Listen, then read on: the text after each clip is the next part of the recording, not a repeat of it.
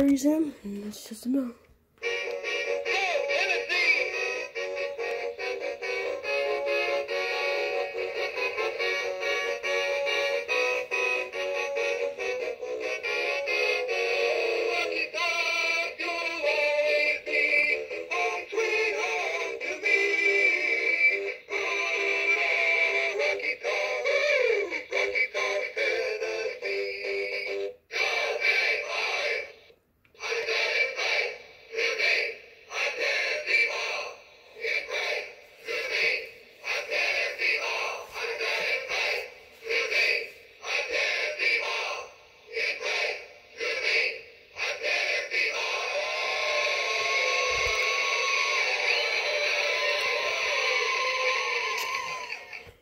thank you for watching the both videos of these unboxing.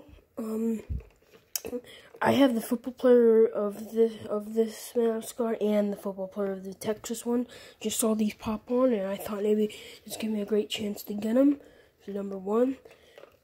But yeah, um, won't be making any new videos, and probably for a while now because, but um,